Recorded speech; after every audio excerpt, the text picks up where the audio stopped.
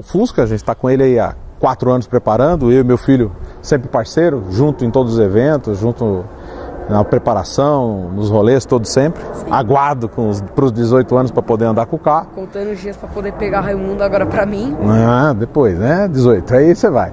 Aí, do carro, o que, que nós fizemos? A gente comprou o carro faz quatro anos, a gente veio num processo de evolução com o carro, começamos com a preparação com ele, primeiro carburado, fomos fazendo a adaptação do interior, colocando rodas, colocando freio disco nas quatro rodas, adaptando bancos da BMW X1 caramelo dentro do carro.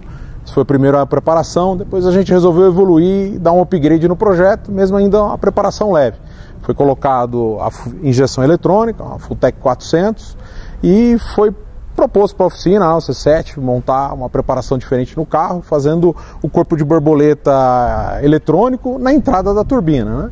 É um projeto diferente, muita gente diz que não funciona, que não dá estabilidade, que o carro não anda legal.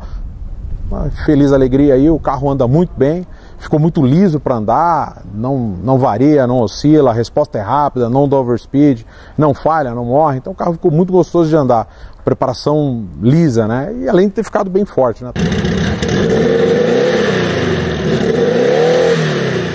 Tá com a turbininha e tal. Então deu para dar um brinquedo legal, ficou divertido para poder andar com o carro, curtir e andar de boa também. Quiser andar rápido, vai conseguir, quiser andar devagarzinho, o carro dá uma desenvoltura bem legal. Ficou bem divertido o brinquedo.